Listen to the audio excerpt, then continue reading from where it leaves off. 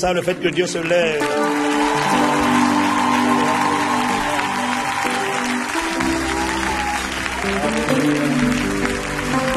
Certainement tu te lèves, tu ne t'assieds pas. Non, les ténèbres ne dureront pas toujours. Parce que sur nos vies, sur nos familles, notre histoire, la gloire du Seigneur se lève. Et nous te rendons grâce pour la puissance de ta parole, pour la portée de ta parole, ta fidélité à ta parole. Nous te disons merci parce que ta parole est éternelle, ta parole est pure, elle est vraie, elle est éprouvée. Nous te rendons grâce de ce que, à toujours, ô Dieu, ta parole subsiste dans les cieux. Ta parole est la lumière sur mon sentier. Ta parole est la vérité. Ta parole est mon fondement. Alléluia. Bless you for your word. Puissance et la pertinence de ta parole. La Bible dit la révélation de la parole est claire et elle donne de l'intelligence au sang. Jésus dit, vous connaîtrez la vérité. La vérité vous affranchira. Sanctifie-les par ta vérité. Et ensuite il dit, ta parole est la vérité. Nous te rendons grâce pour la grâce, le privilège, l'opportunité que tu nous accordes d'être nourris par ta parole. Les cieux et la terre passeront, mais tes paroles, elles, ne passeront pas. Tu donnes la vie par ta parole. Tu juges par ta parole. Tu consoles par ta parole. Tu relèves par ta parole. Tu guéris par ta parole. Et nous célébrons la parole du royaume, la parole de Dieu. Jésus-Christ est la parole faite chair. Béni soit le nom du Seigneur, la parole de Dieu. merveilleux ce que Dieu fait. Je vais chanter un chant que vous ne connaissez pas. C'est un chant que connaissent seulement les gens qui se sont convertis dans les années 90 et 2000. Mais c'est pas grave, on va t'en apprendre. Ce sont les chants. Ça fait un peu style pasteur Carambiri, mais nous suivons l'inspiration du Saint-Esprit. Ce sont les chants de mon enfance chrétienne. Là où il y avait encore la pureté de la parole. Là où il y avait la passion pour la parole. Là où le temps de la parole excitait le peuple. Là où nous étions heureux d'être nourris de la parole.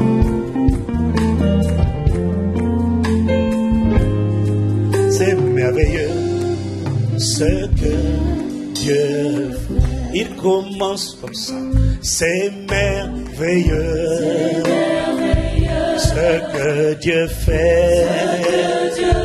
Son précieux livre est toujours vrai. Quand on y croit, il répondra. Oh, c'est ce que Dieu vous suivez mon inclinaison, c'est merveilleux. C'est merveilleux. Ce que Dieu fait. Ce que Dieu fait. Son précieux livre, la P-I-B-L-E est toujours vrai. Est toujours vrai. Quand on y croit, il répondra. C'est merveilleux. Ce une fois, c'est merveilleux. Ce que Dieu fait. Que Il le fait par sa parole, son précieux livre. est toujours vrai. Jamais il ne faillira. Quand on y croit, il répondra. C'est merveilleux ce que Dieu c'est merveilleux, c'est merveilleux. C'est admirable ce que Dieu fait. Son précieux livre est toujours vrai. Est Quand on y croit, quand on y croit, il répondra, il répondra. C'est merveilleux voilà pourquoi je crois que la Bible est vraie. Je crois que la Bible est vraie. Je crois que la Bible est vraie. Elle est la parole du Seigneur. Elle est la parole du Seigneur. Je la sais mon cœur. Je crois que la Bible est vraie. Je crois que la Bible est vraie. Je crois que la Bible est vraie. Que la Bible est vraie. Elle est la parole. Elle est la parole du Seigneur. Je la sais dans mon cœur. Chaque parole de la Bible, chaque parole de la Bible, retiens cela. Chaque chapitre, chaque chapitre et chaque verset, tout ce qui est écrit, tout ce qui est, tout ce qui est écrit, je crois que la Bible est vraie. La Bible est vraie. Je crois que la Bible, je crois que la Bible est vraie. Oh, merci pour ta parole. Elle est la vérité. Chaque chapitre et chaque verset, chaque verset, je crois que la Bible est vraie. Je crois, je crois, je crois que la Bible est vraie. C'est une déclaration de foi. Je dis à Dieu, je crois que ta parole est la vérité. Tout ce qui est, tout ce qui est, qui est, tout ce qui est écrit. Je crois, Seigneur. Je crois que Je crois que c'est la vérité. Je crois, je crois que la Bible est vraie. Je crois, je crois, je crois que la Bible est vraie. Tout ce qui est écrit, ce qui est, tout ce qui est écrit.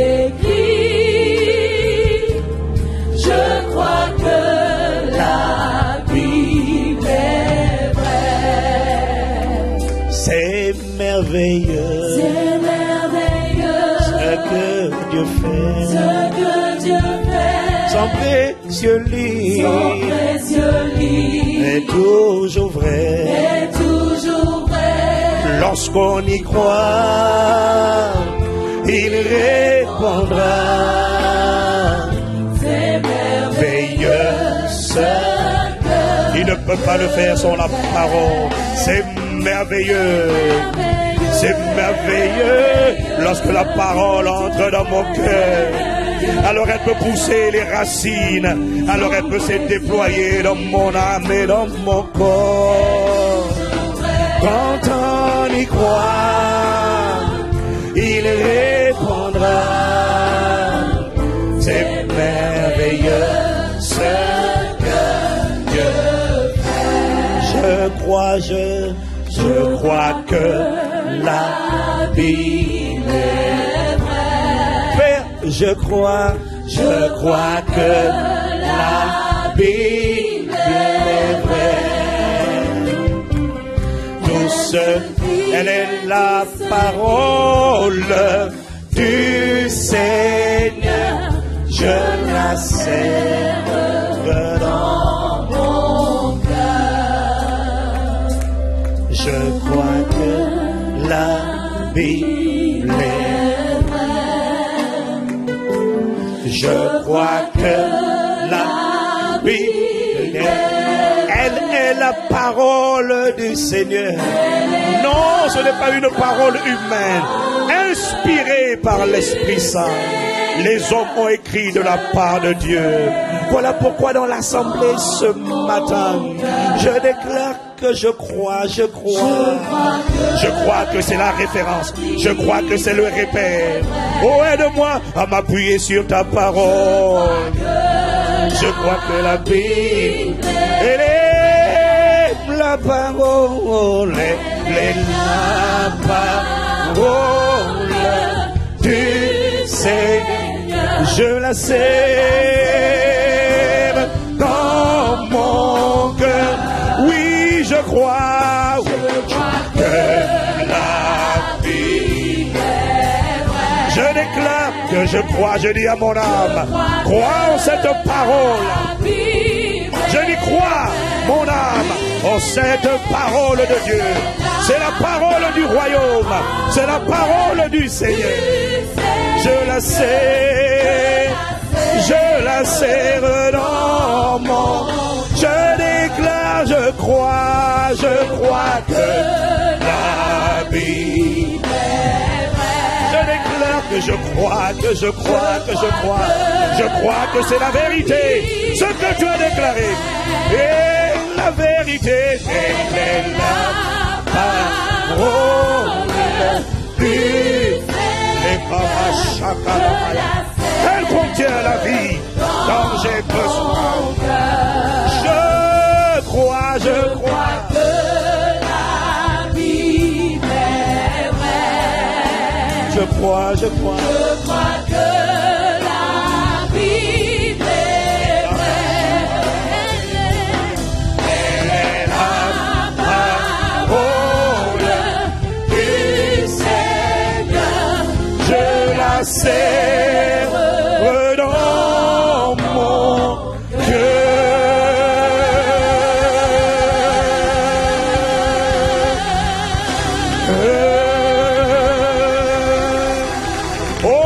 Oh, y a-t-il une personne pour acclamer la parole de Dieu, la B-I-B-L-E?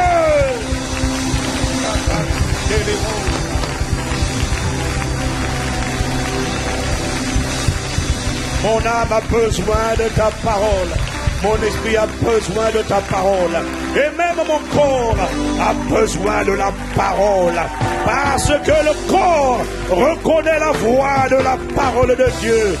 Si un figuier a pu reconnaître la voix de la parole faite chair, mon corps, mes circonstances, vous saurez reconnaître l'autorité de la parole de Dieu.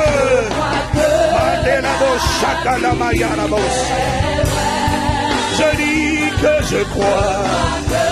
Je crois que la Bible est vraie. Elle est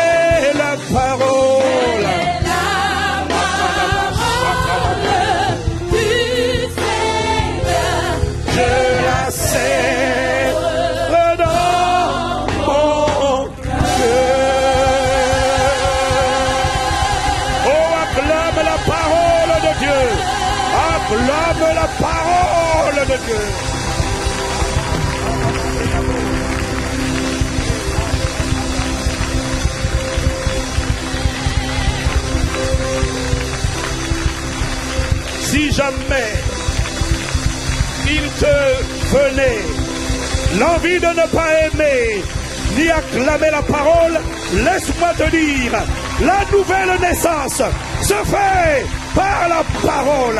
Alors si tu es né de nouveau, ce n'est pas à cause de ton père ni de ta mère. Si tu es né de nouveau, né de Dieu, enfant de Dieu, c'est parce que Dieu a libéré sa semence. Il a libéré sa parole. Voilà pourquoi je bénis le nom du Seigneur pour la parole de Dieu. Je n'ai ni or ni argent, mais j'ai la parole dans mon cœur et dans ma bouche.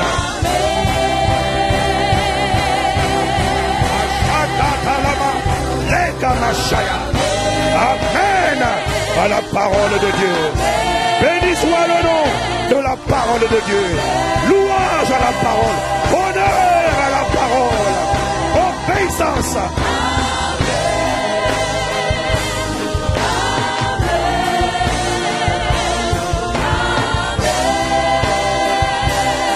Obéissance à la parole de Dieu. Blessed be the name of the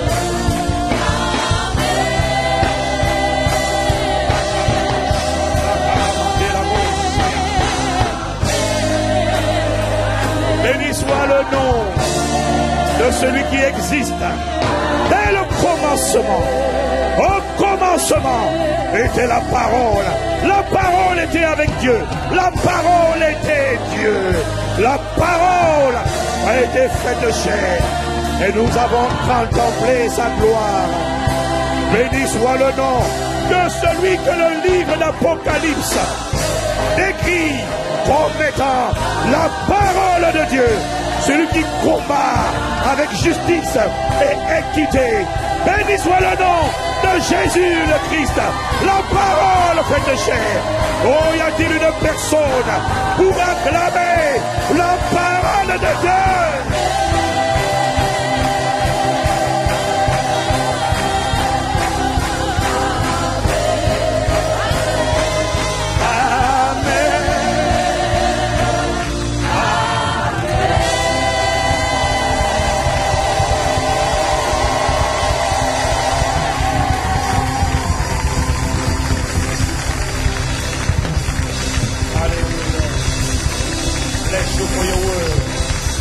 Merci pour ta parole. Nourris-nous aujourd'hui par ta parole. Consacre-nous par ta parole. Sanctifie-nous par ta parole. Ta parole est la vérité. Bâtis-nous par ta parole. Guéris-nous par ta parole. Étire-nous par ta parole. Augmente-nous par ta parole. Vivifie nos corps par ta parole. Fortifie notre homme intérieur par ta parole. À toujours, ô Dieu, ta parole subsiste dans les cieux. Béni sois-tu de ce que c'est par ta parole que tu maintiens l'univers en harmonie et en équilibre. La terre ne chancelle pas. Il n'y a aucune main visible, aucun support physique, aucun pied ne tient cette planète. Mais elle est tenue, dit la Bible, par la parole de Dieu. Oh, si la parole de Dieu est capable de tenir la terre, elle tiendra ta vie, elle tiendra ma vie, elle tiendra ton corps, elle tiendra ta destinée, elle tiendra ton témoignage, elle tiendra ton héritage. Honneur à la parole de Dieu.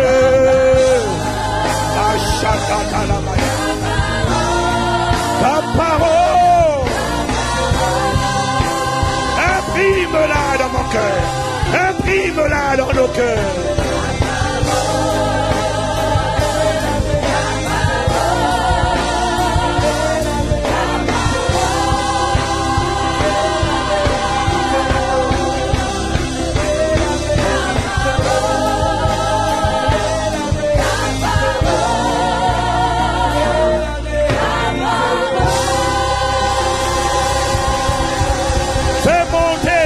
Gratitude pour la parole de Dieu.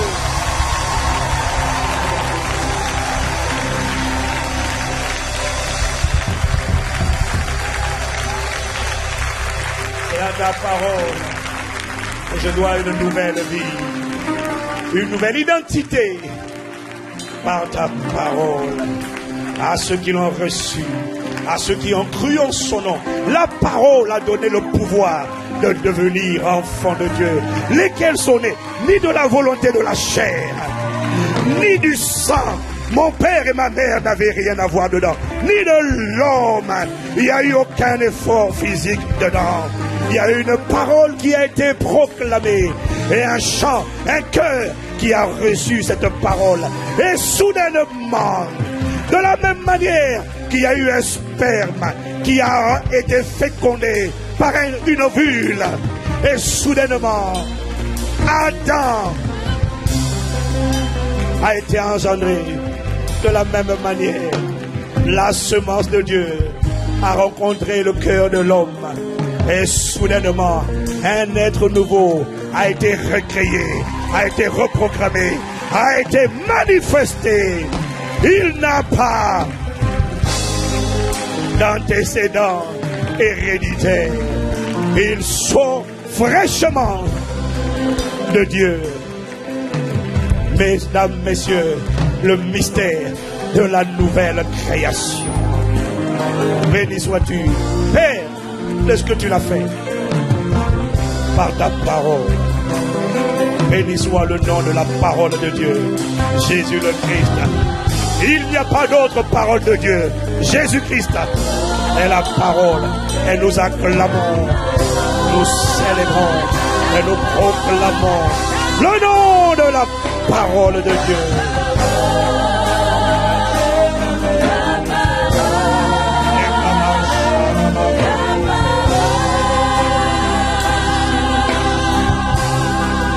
Au nom de Jésus, nous avons ainsi prié avec action de grâce. Amen, amen, amen, amen, amen, amen.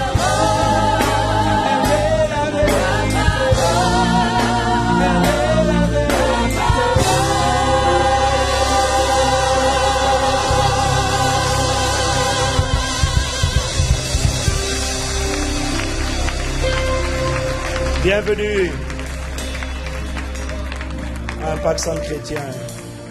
À tous ceux qui sont connectés depuis toute la francophonie, bienvenue au rassemblement des passionnés de la parole de Dieu, des amoureux de Dieu, de ceux qui sont nés de la parole et de ceux qui ont l'opportunité de naître aujourd'hui de la parole.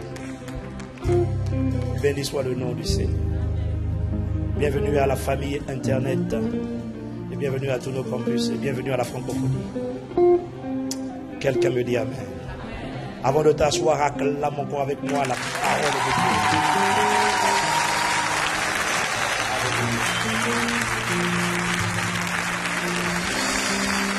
Alléluia. Dans sa présence. Alléluia. Dis avec moi, j'aime la parole de Dieu. Si tu es né de nouveau, tu peux dire, c'est grâce à elle que je suis là. Oui, c'est grâce à la parole que je suis là. Ce chant est un préambule, est une introduction à la parole du jour. Je veux continuer et finir les oui décisions importantes, oui décisions, engagement. Je préfère décision, engagement que résolution qui doivent nous accompagner de manière constante tout au long de cette année 2014. Avant la fin de l'année, j'ai commencé les quatre premières décisions. Je vous ai dit que la vie est une question de décision, de choix, d'actes que nous posons. Et chaque action, acte, déclenche une réaction. Tu es aujourd'hui le résultat des choix des actes, donc des décisions que tu as fait hier, des décisions que tu as prises hier. Tu es le résultat des choix que tu as fait hier.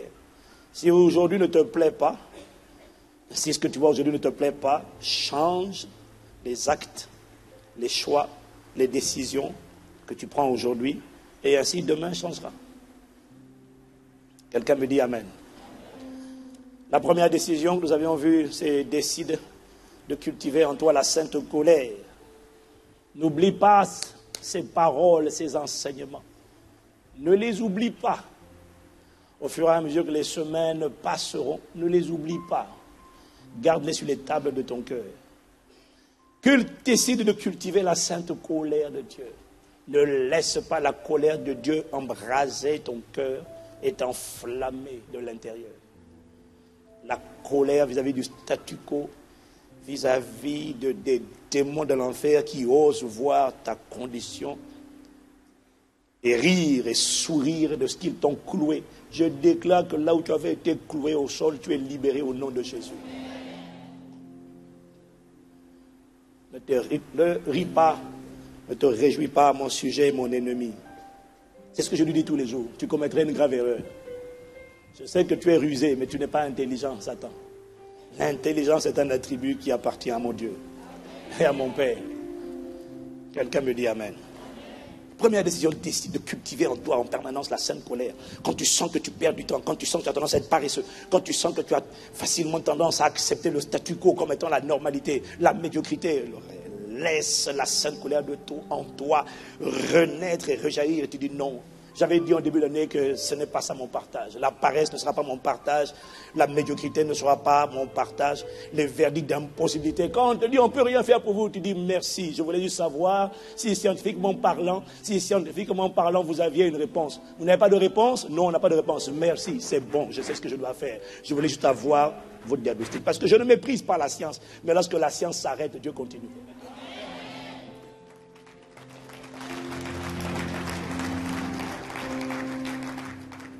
Quelqu'un me dit Amen. La deuxième décision qu'on a dit que tu devais cultiver, c'est celle de racheter le temps. Décide de racheter le temps. Arrête de perdre du temps. Rachète le temps. Maximise.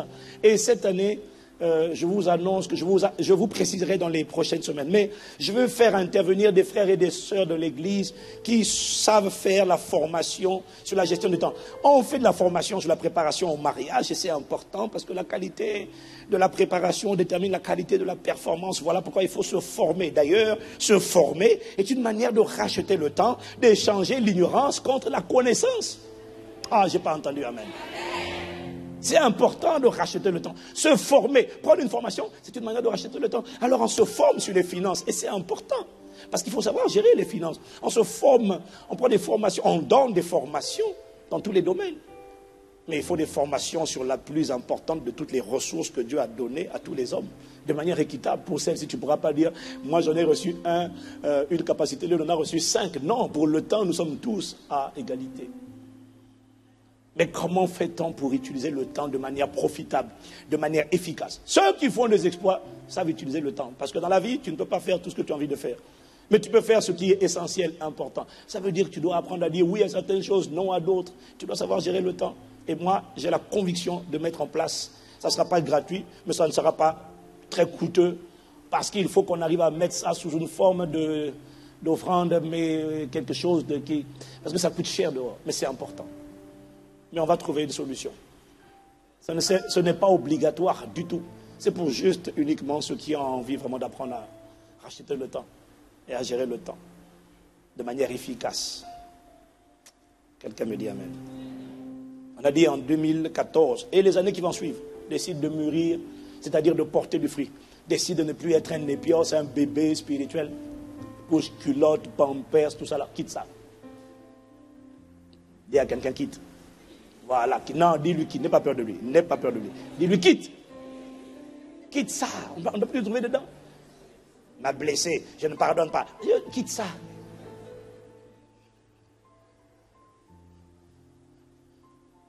J'ai voulu te dire, la dernière fois tu m'as mal parlé, ça m'a blessé. Ça m'a rendu amer. Je n'ai pas dormi toute la nuit à cause de ce que tu m'as dit, parce que vraiment, je n'ai pas pu dormir. Et là, elle attend que tu demandes pardon. J'ai dit, ben, essaie de dormir cette fois-ci.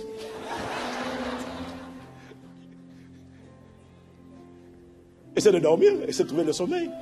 J'ai une suggestion à te faire. J'ai une suggestion pratique à te faire. Si tu ne trouves pas le sommeil, lève-toi, va prier, adore. Satan va tout faire pour te placer dans le sommeil. Ta chair va tout faire pour te faire dormir.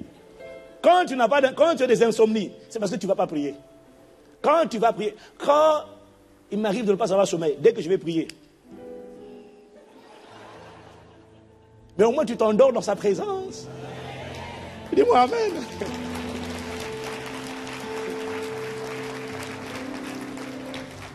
Tu es bercé. Le Saint-Esprit dit, ok, adore, adore. Et puis après, le Saint-Esprit t'endort lui-même. Allez, maintenant, couche-toi.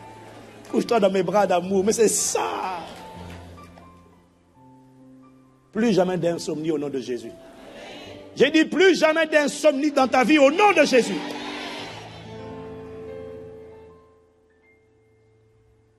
Décide de mûrir. On a dit la quatrième décision stratégique au combien essentielle. Et c'est la, la fondation, c'est le ciment de toutes les autres. décide de chercher et trouver le Saint-Esprit comme jamais auparavant. Et je suis déjà enthousiaste par rapport à ce que le Seigneur nous a donné comme orientation pour cette année. Je n'en parle pas encore parce que nous devons prendre le temps de le préparer. Mais je suis déjà enthousiaste parce que si tu croyais que jusqu'à présent on avait prié, maintenant j'ai tendance qu'on va prier pour de vrai.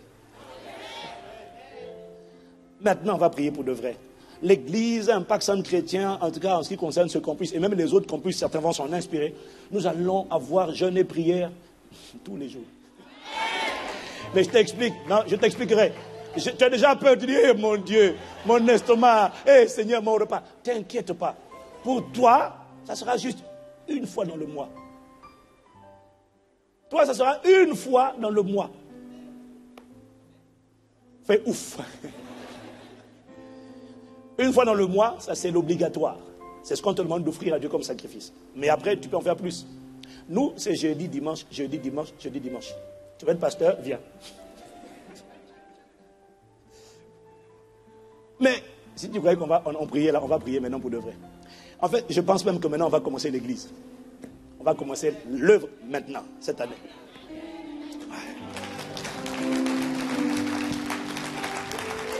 S'il y en a qui trouvaient qu'on en faisait déjà trop, tu leur dis, excuse-moi, c'est maintenant qu'on commence. Dis à quelqu'un, excuse-moi, c'est maintenant que nous on commence. Makataya Mashakaya. La clé, c'est la prière. La clé, c'est chercher Dieu. La clé, c'est la communion du Saint-Esprit en profondeur, comme jamais auparavant. Nous allons presser. On t'expliquera plus tard. Toi, ça sera un jour.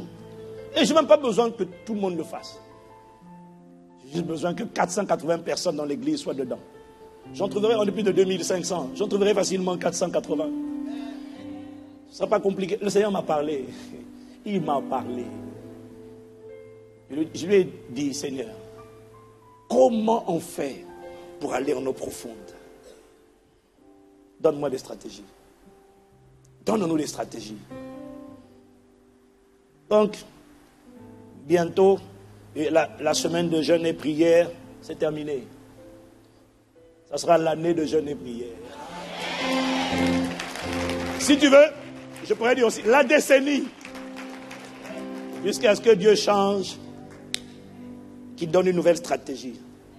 Parce que Dieu donne une instruction, on suit l'instruction, jusqu'à ce qu'il donne une nouvelle instruction, on suit la nouvelle instruction, et ainsi de suite. Dieu ne change pas ces instructions peuvent changer. Pas ses lois, juste les instructions. Il peut te dire, va au torrent de Kérip, après il dit, va à Sarepta. Dis-moi Amen. Seigneur, accorde-nous la grâce de te chercher comme jamais auparavant. Et tu ne chercheras pas Dieu sans la prière. La prière est le moyen par lequel tu apprends à chercher Dieu. La prière est pas le moyen par lequel tu apprends à frapper, à frapper, à frapper, à frapper, jusqu'à ce que les portes s'ouvrent. Et là, c'est le déversement de la gloire de Dieu. Je suis convaincu que ce qu'on avait. Ne soyez. Quand on va commencer ça, ne dites pas que maintenant, un pacte chrétien, il ne faut pas injurier Dieu en disant c'est la magie. Il ne faut pas injurier Dieu en disant non, maintenant c'est. Non, non, non. Non, non, ce n'est pas magique. Ce sont des exploits surnaturels divins. Rien de magique. C'est juste divin. Que Dieu mette son empreinte comme on n'a jamais vu auparavant. Et je peux dire, à tous les agents infiltrés du royaume des ténèbres qui sont là pour semer la confusion, le trouble et pour empêcher l'Église d'avancer. Laissez-moi vous dire, vous avez échoué vous allez échouer lamentablement jusqu'à ce que Jésus revienne au nom de Jésus. Tous les saboteurs, les séducteurs, les embrouilleurs, les entubeurs, les créateurs de division, vous échouerez lamentablement au nom de Jésus. Et vous allez trouver la puissance de Dieu sur votre passage dans le nom de Jésus.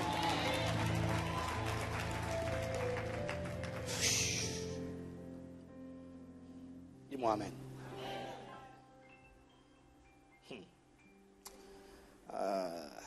Il y a quelqu'un. Nous, on démarre. Non, dis-lui, on commence, on commence maintenant. Nous, ce n'est pas le changement, c'est maintenant. Non, ce n'est pas ça. Ce n'est pas ça. Ceux qui ont dit ça, on ne voit pas clair. C'est compliqué. C'est compliqué. tout est compliqué.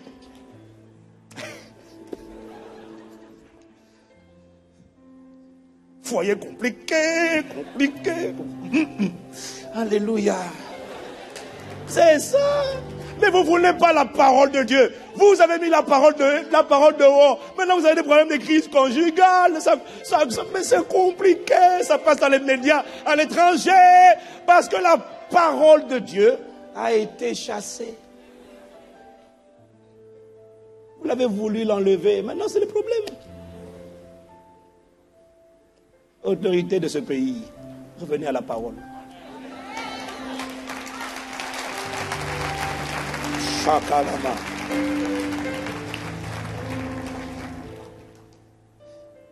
Quand tu rejettes la parole de Dieu, qui va t'accepter?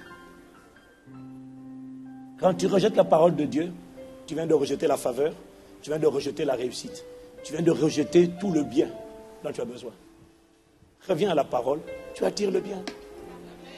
Tu attires le bonheur et la grâce. Le bonheur, la grâce. J'aime la parole de Dieu. Dis-moi Amen. Ce qui m'emmène maintenant à la décision 5. Voilà pourquoi on a chanté le chant qu'on a chanté. Parce que la décision numéro 5, c'est décide de lire la Bible, la parole de Dieu, toute l'année. Ah, tu as me quoi? Ça, c'est un message? Oui, c'est un message. Quand le Saint-Esprit te donne une parole qui a l'air simple, ça veut dire qu'il sait que tu l'as entendu, mais tu ne le fais pas. Décide de lire la parole de Dieu toute l'année. Pourquoi la lire, la parole de Dieu? Tu le sais, mais non, tu ne le sais pas. Tu en as entendu parler, mais tu n'en es pas conscient. La parole de Dieu a plusieurs caractéristiques. La parole de Dieu est un miroir. Dans Jacques 1, verset 23 à 24, la Bible dit car si quelqu'un écoute la parole de Dieu et ne la met pas en pratique, il est semblable à un homme qui regarde dans un miroir son visage naturel et qui, après s'être regardé, s'en va et oublie aussitôt quel il était. Est-ce que quelqu'un me suit? Si quelqu'un écoute la parole et même pas pratique, il est semblable à un homme qui regarde dans un miroir son visage naturel et qui, après s'être regardé, s'en va, il oublie ce qu'il a vu. La parole de Dieu est un miroir. Dis-moi Amen. C'est le miroir dans lequel chacun de nous doit se mirer tous les jours avant de sortir, lorsqu'il est dehors et lorsqu'il revient à la maison. Parce que la réalité, avec les miroirs, je me suis rendu compte que les miroirs sont la chose que nous regardons le plus dans la journée. Avant de sortir, c'est sûr, même quand tu n'as pas de stylo, quand tu n'as pas de Kleenex, tu as moins un miroir, ma soeur. Mais même nous les hommes, même quand on n'a pas de... Parce que nous les hommes, on n'a pas de miroir dans, nos sacs. Si frère, je te trouve avec un miroir dans le sac, franchement, je vais demander, frère, ça va? Là, des gars là, je risque de te soupçonner. Mais non. Peut-être es-tu simplement prudent. Gloire à Dieu pour toi. Il n'y a pas de mauvaise pensée derrière. ok, gloire à Dieu. Ok, efface ça, efface ça. Enlevez de la bande, enlevez de la bande. La chose que nous regardons le plus dans la journée, ce sont les miroirs. avant de sortir de la maison, tu regardes le miroir. Et même quand tu es sorti, dès que tu passes devant des baies vitrées, devant des immeubles en vitre, qu'est-ce que tu fais? Reconnais-le. Tu regardes. Pourtant, tu as vu, hein, mais tu regardes encore. Juste quand il n'y aurait pas une bave là, là, là, là, au bord de la lèvre, là, ou alors, il n'y aurait pas un truc dans les yeux, ou alors quelque chose. Tu regardes, constamment tu regardes. Même quand tu prends les transports en commun, tu arrives à un couloir, tu es en train de marcher, pourtant tu es pressé. Hein. Dès que tu vois un miroir, tu ralentis. Tu ralentis. Ok, tu veux. Si c'est vrai, dis-moi, petit amen. Dis-moi, dis-moi amen si c'est vrai. C'est ça. Quand tu reviens à la maison encore, tu regardes le miroir encore pour voir si tout est intact. Hein. Et dès que tu vois que les cheveux sont un peu comme... Tu dis, ah Mais de la même manière, de la même manière que le miroir nous parle, c'est la raison pour laquelle nous le regardons. De la même manière, la parole de Dieu nous parle lorsque nous la lisons.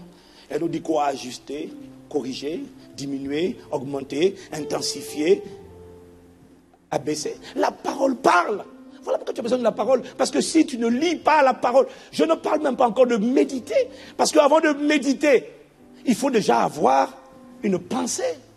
Avant de méditer, il faut déjà lire. Est-ce que quelqu'un me suit? Avant de méditer, il faut lire. Si tu ne lis pas la parole, la méditation, c'est quand tu prends quelques extraits de la parole que tu as lu et tu commences à réfléchir dessus. Il faut déjà commencer par lire. Cette année, je t'en supplie. Discipline-toi pour lire la Bible toute l'année. Tous les jours. Dis-moi Amen. Arrête de lire la Bible au gré de tes émotions. Quand tu en as marre, c'est pourquoi l'homme quittera son... C'est tout ce qui t'intéresse. C'est pourquoi l'homme quittera son père et sa mère s'attachera à sa femme. Tu as vu, Seigneur? Tu as vu? C'est de la parole. J'ai dit, mais tourne aussi. J'ai d'autres paroles. Là. Non, Seigneur. Mais lis, non. Tu passes, c'est bon, mais tu peux t'arrêter là. Est-ce que quelqu'un me suit? Il y en a d'autres, c'est quand ça va mal, ils prennent le livre de psaumes. Ils cherchent les psaumes de mélancolie. Mon Dieu, mon Dieu, pourquoi m'as-tu abandonné? Oh, C'est comme ça. Tu dois lire toute la Bible toute l'année. Dis-moi Amen. Si le Saint-Esprit me l'a dit, je suis convaincu que 80% des chrétiens ne le font pas. Ils lisent de temps en temps, au gré de leurs émotions et de leurs envies personnelles. La parole de Dieu est un miroir. La parole de Dieu est la nourriture dont ton homme intérieur a besoin. La parole nourrit l'homme intérieur. La parole, Jésus a dit, l'homme ne vivra pas de pain seulement, mais de toute parole qui sort de la bouche de Dieu. La parole, ton esprit, ton homme intérieur, le vrai, toi, a besoin de, se nourrir de la parole. Ton âme a besoin d'être restaurée par la parole de Dieu. La parole est un médicament même pour ton corps. Comme je l'ai dit tout à l'heure, si les figues entendent la voix de la parole, ça veut dire que mon corps peut entendre la voix. Et il entend, mes oreilles entendent la parole. Franchement, si les portes de la prison où étaient retenues Paul et Silas a pu entendre la parole, lui dire ouvre-toi. Même une serrure entend la parole. Dis-moi Amen.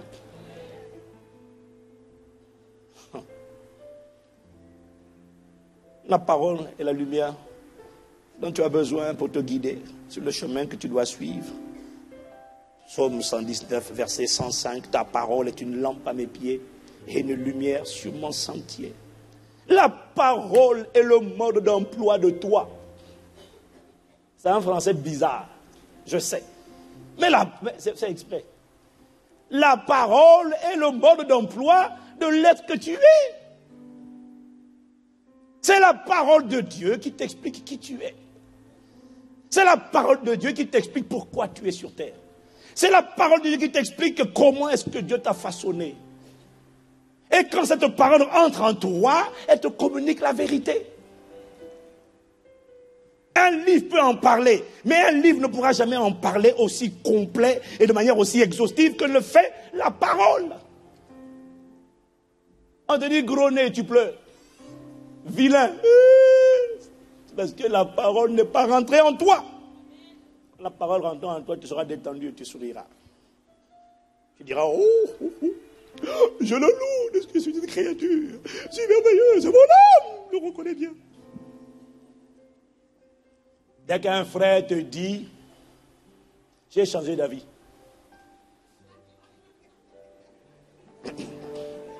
Ce n'est plus toi. Tu montres que la parole n'est pas ancrée en toi. C'est quand la parole est ancrée en toi. Tu dis, je suis désolé, je connais tellement ma valeur, je regrette pour toi. Tu ne pleures pas. Tu dis, quelqu'un d'autre aura le discernement. Il sera discerné un chef-d'œuvre. Je ne peux pas me brader pour n'importe qui. Tu vois le frère, un frère qui hésite de tous les côtés, il est là. Non, c'est pas toi. Frère, ma soeur, fuis. Il y a des gens, il faut fuir. Il y a des gens, quand il y a des, même dans l'église, il y a des gens, quand ils quittent l'église, moi j'ai compris, il ne faut pas pleurer. Il y a des lots, quand ils quittent, Dieu commence à te parler. Dieu ne parlait pas jusque-là. Quand l'autre s'en va, soudainement, la voix de l'éternel. Oh, l'autre. C'était toi. Et quand l'autre veut dire, coucou, me revoilà, tu dis non, reste là-bas, reste là-bas. Dis-moi Amen. Il y a des gens, quand ils sortent de ta vie, si tu as fait des bêtises, des erreurs, je comprends. Mais quand tu n'as rien fait, quelqu'un il vient et puis il dit brusquement, non, je m'en vais. Je dis, qu'est-ce qu'on a fait? On a fait quelque chose Non, mais, non, mais... Euh, ah, il y a déjà, il y a déjà, c'est des. Ils sont là depuis longtemps, ils sont là pendant assis pendant quelque temps, et puis brusquement ils se lèvent, et puis il dit, euh, ça c'est un de mes pasteurs avec qui j'ai dû parler au téléphone pour l'encourager, le consoler, parce qu'il était, il ne comprenait pas pourquoi. Il n'y a pas de problème. Vous savez, les gens, tu es dans une église, le pasteur n'est pas un intubeur, ce n'est pas un voleur, ce n'est pas un, escroc, ce n'est pas un adultère. Es quelqu'un de sincère, quelqu'un de machin, de disposé, et tu arrives, tu te lèves un jour, tu dis non, il faut prêcher la sainte doctrine, il faut prêcher le message de la repentance, et Jésus revient bientôt. Bon. Il dit, mais pourquoi il part? J'ai dit non, t'inquiète pas. Le gars, il cherche une position, comme il n'a pas eu, il est déçu, il s'en va. Il faut le laisser partir. Dis-lui, parle maintenant faut prêcher la sainte doctrine. Il ne faut pas, faut pas caresser les gens dans le sens du poil. Il dit qui caresse les gens dans le sens du poil? Toi, tu connais un paxan chrétien, toi? Tu as déjà vu un paxan chrétien, on caresse les gens dans le sens du poil Tu as vu ça ici? Oh non. Je dis, il ne te donne pas la vraie raison pour laquelle il part. La vérité, c'est qu'il y a toutes sortes de personnes. Bref, mon point est juste, il y a des gens quand ils partent, ils disent bye bye. Mais quand quelqu'un part, je demande toujours pourquoi tu pars. Quand il n'a rien à dire, quand il n'a pas d'éléments, je comprends que je suis pour rien, nous ne sommes pour rien. Je dis, frère, pars en paix. J'espère pour toi que tu trouveras ce que tu veux. Et des gens, quand ils sortent, il faut les laisser sortir. C'est Dieu qui les pousse dehors. Je ne sais pas pourquoi je parle de ça. Mais je crois qu'il y a quelqu'un qui a besoin d'entendre ça. Dis-moi Amen. La parole de Dieu est le mode d'emploi de qui tu es véritablement. La parole révèle la vérité. Quand tu auras compris la vérité sur qui tu es, lorsque tu es né de nouveau, parce que tant que tu n'es pas né de nouveau, même quand tu as un grand nom, tu n'es rien. Mais quand tu es né de nouveau, même quand tu ne connais rien, même quand tu es un bébé, mais tu es un chef-d'œuvre. Et le jour où tu découvres ça, et qu'un démon fait irruption devant toi et te dit, hein, tu ah, mon gars, j'ai avalé la parole, je sais qui je suis par la parole. Je suis Christ sur la terre. Jean dit, celui qui est en vous est supérieur. En anglais, on dit greater. Il est au-dessus de celui qui est dans le monde. Ah, l'esprit qui est en moi est supérieur à tous les esprits de sorcellerie, d'occultisme, de divination. Tous mélangés sur toute la planète, dans tout le monde occulte. Tous mélangés, l'esprit qui est en moi est supérieur. Ah, dis-moi Amen. Y a quelqu'un décide de lire la parole cette année. La parole, c'est le seul testament. La parole, c'est le testament qui t'a été laissé. Voilà pourquoi on parle d'Ancien Testament et de Nouveau Testament. La parole, c'est le testament. Aucun livre, même s'il est bien écrit, aucun homme, même s'il enseigne bien, ne pourra t'expliquer en détail tous les éléments que contient ton testament. Tu imagines un peu cette personne qui a un testament, elle a hérité, elle ne va jamais regarder le testament, elle s'appuie sur les dires de quelqu'un. Tonton, qu'est-ce qu'il y a dans mon testament? Tonton dit en fait, on t'a donné, on t'a légué un million d'euros. Tu dis, yes, un million d'euros. Mais le problème, c'est que si tu allais lire le testament, tu aurais peut-être découvert que ce n'est pas un million, que c'est une quantité d'argent illimitée. Il faut aller lire le testament par toi-même. Dis-moi Amen. Le meilleur des enseignants ne pourra pas tout te dire. Mais la parole te dit tout.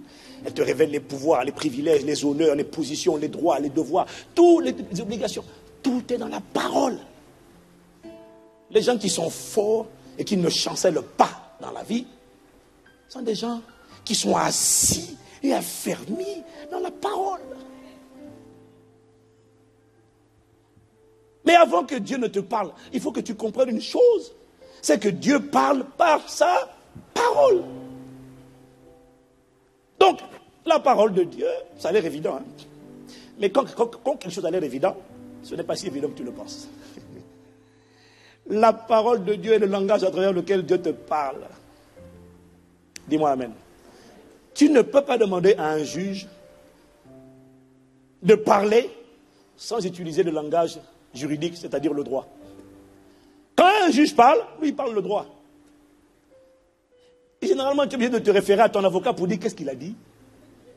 Des fois, tu ne sais même pas si tu as été condamné. Bon, condamné encore, tu comprends. Mais on te dit, vous avez. Et surtout les notaires, ils ont un langage compliqué. Tu ne comprends pas tout. Ils parlent son langage. Lorsqu'un médecin te parle, il parle le langage médical. Si c'est vrai, dis-moi Amen. Et des fois, tu dis, mais non, excusez-moi, docteur, vous devez essayer de m'expliquer les mots. Il te dit euh, fibrome, kyste, virus, parasite, bactérie. Là encore, c'est quand ils sont gentils. Quand ils sont méchants, enfin, quand ils sont méchants, quand ils sont pas méchants, mais ça, quand ils veulent être vraiment graves, ils te disent, c'est le syndrome des... Tu dis quoi? Est-ce que vous pouvez expliquer en français? Et quand il explique, il essaie d'expliquer en français, il te met encore d'autres mots de la médecine.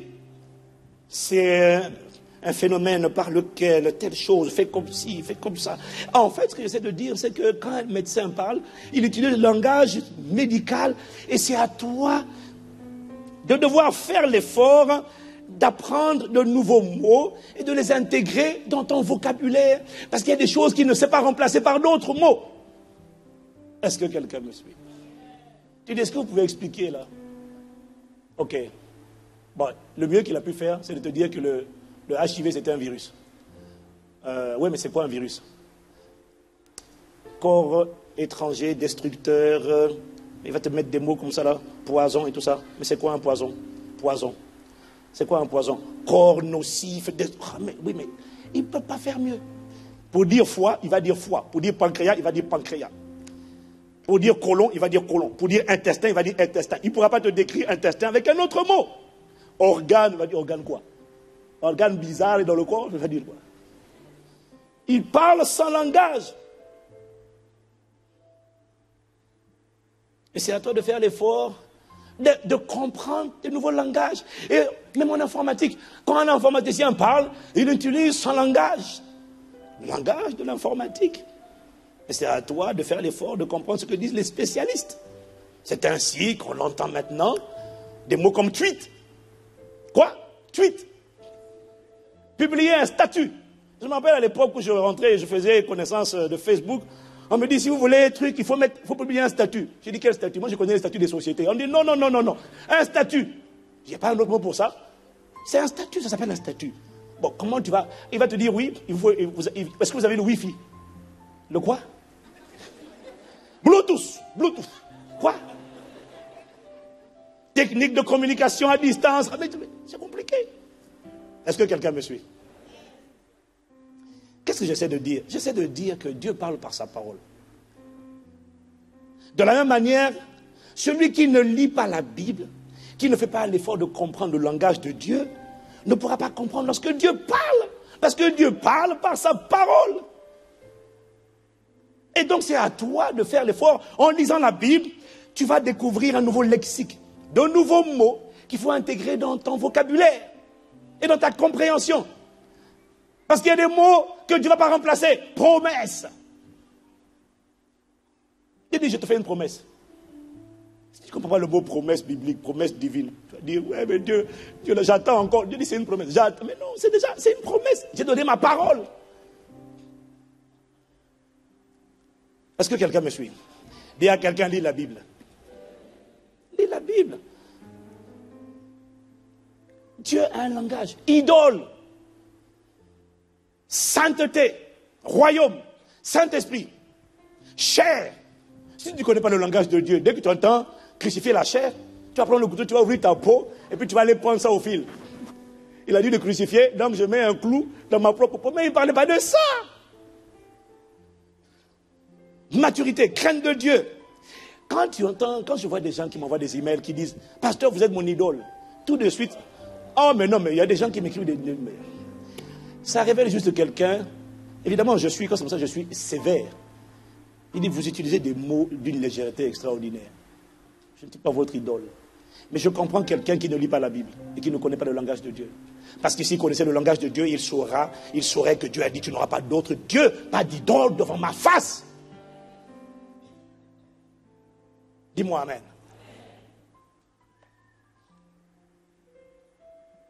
Décide cette année avant le 31 décembre, d'avoir parcouru toute la Bible. Et comme je sais que ce n'est pas simple, et comme je sais que ce n'est pas simple, cet enseignement a pour but d'être pratico-pratique. Dis-moi Amen. Parce que quand je t'aurais dit ça, tu vas dire, la question qui va suivre, c'est oui, mais comment je fais? Alors voilà, le Saint-Esprit m'a dit d'être pratico-pratique. Il y a des gens qui ont réfléchi à ta place et qui ont développé ce qu'on appelle des plans de lecture de la Bible. Tu peux la lire en un mois, tu peux la lire en six mois, tu peux la lire en un an. Il y a des gens qui ont développé. Et si tu as un smartphone, ce qui est le cas de la plupart des gens, ou une tablette, tu n'es plus obligé de te balader avec ta grosse Bible, mais tu peux réussir à lire la Bible tous les jours à travers les smartphones. Dis-moi Amen. Et alors, comment tu fais? Tu vas dans Android ou dans Apple Store et tu télécharges Holy Bible, la Bible YouVersion. C'est la Bible que je recommande parce que les autres sont payantes. Celle-là, elle est gratuite. Elle a plusieurs dizaines de traductions dans toutes les langues. Mettez-la moi à l'écran, s'il vous plaît. Avant que je la lance. Il faut que ce soit pratique. Ah, aujourd'hui, c'est bizarre, oui. Non, parce que mon gars, il faut, qu'on change de manière pratique. On ne va pas prêcher juste pour prêcher, enseigner juste pour enseigner. Il faut que je te montre comment moi je fais.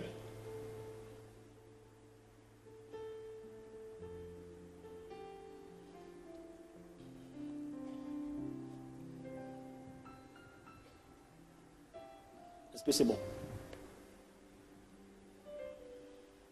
Avant la fin de l'année, tu dois avoir lire la Bible. Et l'année suivante, tu vas encore lire la Bible.